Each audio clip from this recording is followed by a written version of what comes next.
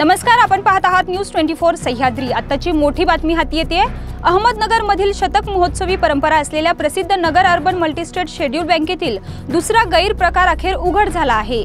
बावीस कोटींच्या या कर्ज वाटपाबाबतचा गुन्हा अखेर पुणे जिल्ह्यातील चिंचवड येथे दाखल झाला आहे यात संबंधित कर्जदारांसह बँकेची कर्ज उपसमिती तसेच बँकेचे माजी अध्यक्ष व भाजपचे नगरचे माजी खासदार दिलीप गांधी यांच्या नेतृत्वाखालील संचालक मंडळाला आरोपी करण्यात आला आहे. महिन्याभरापूर्वीच बँकेच्या तीन कोटींच्या बोगस कर्ज प्रकरणी नगरच्या कोतवाली पोलिसात गुन्हा दाखल झाला आहे. त्यानंतर आता बँकेच्या चिंचवडच्या शाखेतील गैरप्रकाराबद्दल गुन्हा दाखल झाला आहे. या प्रकरणी पिंपरी चिंचवडचे आयुक्त कृष्ण प्रकाश यांनी गुन्हा दाखल करण्याचे आदेश दिले होते. नगर अर्बन बँकेच्या चिंचवड शाखेत बावीस कोटीच्या कर्ज प्रकरणात गुन्हा दाखल करण्याची मागणी नगर अर्बन बँक बचाव कृती समितीने करून मागच्या आठवड्यात प्रशासक सुभाषचंद्र मिश्रा यांच्या दालनात ठिय्या आंदोलन केलं होतं. त्याचवेळी प्रशासक मिश्रा यांनी बँकेचे प्रमुख व्यवस्थापक महादेव साळवे यांना संबंधित गुन्हा दाखल करण्याचे आदेश दिले होते.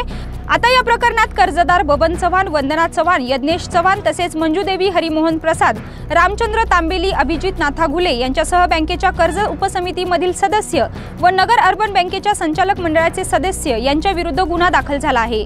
यामुळे नगरमध्ये खळबळ उडाली आहे. या मोठ्या बातमीसह आता इथेच थांबतोय. मात्र अशाच ताज्या बातम्यांचे अपडेट जाणून घेण्यासाठी आपण पाहत रहा न्यूज ट्वेंटी फोर सह्याद्री.